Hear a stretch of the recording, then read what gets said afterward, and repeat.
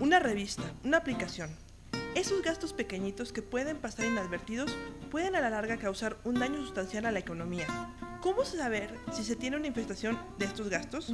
Basta mirar tu billetera el día de pago sin poder explicar a dónde se ha ido el dinero.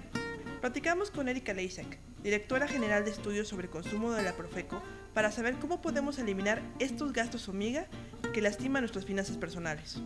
Los gastos hormigas son gastos que no tenemos previstos, que no tenemos presupuestados, que salimos y se nos antoja algo y lo empezamos a comprar, o incluso que se nos empiezan a hacer hábitos, ¿no? Eh, se nos hace un hábito a lo mejor comprarnos un café diario, ¿no? O comprarnos una botella de agua, ¿no? Y ese tipo de gastos, como no están dentro del presupuesto que nosotros tenemos para gastar, bueno, al final acaban siendo gastos grandes. La Procuraduría Federal del Consumidor indica que una persona puede gastar al año hasta 20 mil pesos en este tipo de gustitos. Una cifra considerable si se recuerda que el ingreso mensual por familia ronda los 11 mil pesos según el INEGI. Pero ¿qué tan importante es el daño que estos gastos pueden causar a nuestras finanzas? puede ser, por ejemplo, el café. Mm, es poca la gente que hace el café en su casa y que se lo lleva a veces en su termo, sino que salen y compran el café en la calle, ¿no? Entonces lo que vemos son el café, los cigarros, las revistas, son como los productos que más hemos visto que se pueden llegar a comprar y que se pueden eh, identificar como este tipo de gastos hormiga. Si tomamos un café diario de lunes a viernes, tomando en cuenta que el café nos puede costar más o menos como 14 pesos, o sea, en promedio, el café diario, al cabo de un año te puedes gastar más de 3 mil pesos. Otra cifra que también se ve como bastante grande son los cigarros.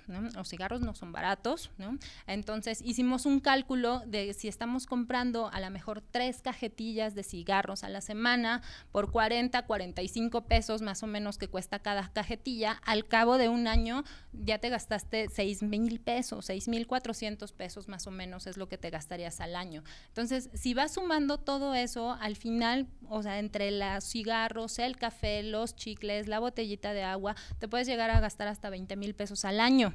Y al año, pues ya suena bastante, ¿no? O sea, son 20 mil pesos que efectivamente pues pudieras estar ocupando en algo más. Para empezar a fumigar tus finanzas, la Comisión Nacional para la Protección y Defensa de los Usuarios de Servicios Financieros recomienda seguir tres sencillos pasos. Primero que nada, identifica cuáles son esos gastos variables que podrían estar dañando tu economía. Unas papas, aplicaciones móviles, una revista, etc. Luego, debes sumar lo que ese gasto representa a la semana, al mes y al año para reconocer el verdadero impacto que esto tiene.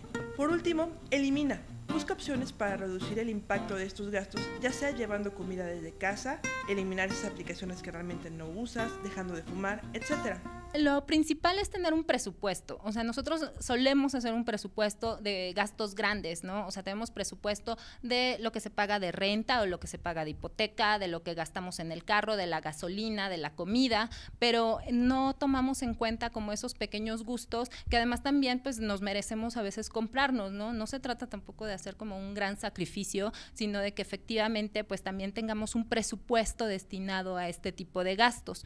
O sea, que estemos conscientes de que es un gusto nuestro a lo mejor tomarnos un café diario y que lo tomemos dentro de nuestro presupuesto y que dejemos a lo mejor una pequeña parte, un colchoncito de dinero, ¿no? Que nos permita a lo mejor un gasto extra, un gasto adicional o una propina que queramos dar. Y que, pero que nos limitemos. O sea, que ese gasto no lo superemos. No olvides que en esta era digital también hay que considerar los gastos en comunicación. Cuando hagas tu presupuesto mensual, recuerda lo que ocupas en saldo para tu celular, las aplicaciones móviles y tu conectividad a Internet. Ahora los teléfonos inteligentes nos permiten pues hacer muchas cosas con ellos y también puede llegar a ser un gasto hormiga cuando empezamos a bajar cosas que cuestan, ¿no? Por ejemplo, música, por ejemplo, juegos, por ejemplo, hay algunas aplicaciones, algunas apps que cuestan, ¿no? Y este y eso también a lo mejor como son gastos chiquitos, pues también se pueden ir acumulando, ¿no? Y también hay otro tipo de gastos que también hacemos en el hogar, por ejemplo, en el sentido de telecomunicaciones, cuando contratamos esos paquetes de eh, cable, televisión, eh, internet, ¿no? Ahí, también hay que ver y es muy importante que la gente conozca sus patrones de consumo, ¿no? O sea, qué tanto es lo que efectivamente utilizamos de cada uno de estos servicios y ver cuál es el proveedor con el que más nos conviene tener el servicio, ¿no? O el que nos, el que se ajuste como mucho más a lo que yo efectivamente necesito. Claro, se puede dar el caso que contrato 50 mil megas y realmente no que estoy en mi casa. Exactamente. O que a lo mejor tienes eh, llamadas eh, gratis que a lo mejor no estás utilizando, ¿no? A veces el proveedor del servicio te puede dar números gratis de llamadas a celular y que los aproveches, ¿no? Y que los aproveches realmente en los números que efectivamente estás utilizando. Con imágenes de Axel González y edición de Laura Basalo, reportó para Farris.com Martelena Violante.